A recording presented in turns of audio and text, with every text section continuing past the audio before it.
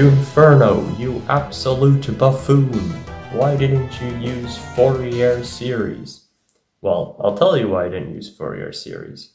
You see, in order to do Fourier series, you need to be able to find the constants for each vector that makes a circle to draw out the shape. But in order to find those constants, you first need to actually already have the shape predetermined so that you can get the integral of all the points.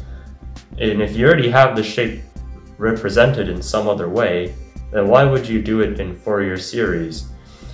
Does Fourier series make it render at a higher resolution? No, because it's approximated based off of the shape you already have. At best, it's going to look like what you already have.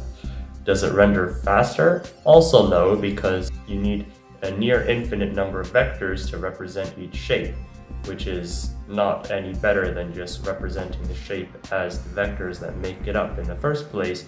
And also, since it is a path that you have to trace, you have to do even more rendering uh, for each single frame. Can you represent each frame as a single equation with Fourier series? Also no, because Fourier series requires a closed shape to draw since it's with periodic functions. And so, like, look at this. You're gonna need 50 Fourier series. This is Desmos. It's I can't run this. So yeah, so that's why. Oh boy, I sure am glad that there's no more unnecessarily complex mathematical formulas for this pretty simple Desmos rendering.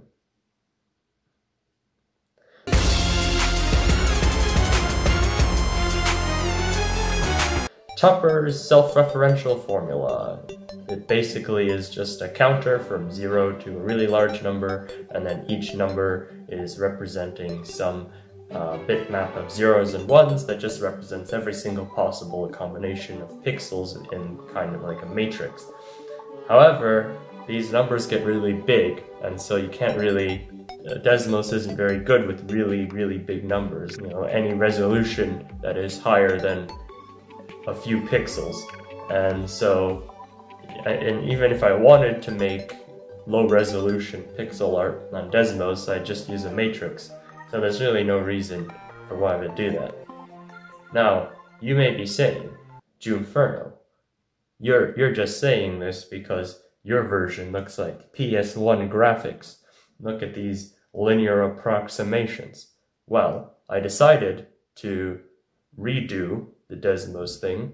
Uh, this time we're using something called Bezier curves, which is what an SVG uses to render paths, since in an SVG, with if you just use linear approximations, for example, if you have like a round edge, then you're just going to have a lot of really tiny lines. But with Bezier curves, what it does is it takes four coordinates. One is a starting point, one is an ending point, and then two that represent the curvature. And you can represent really almost any curve, whether it's parabolic or or even like a straight line, you can represent it. And so basically what we've done is we've made Desmos into an SVG renderer by converting each frame into uh, a path of these curves that it can render.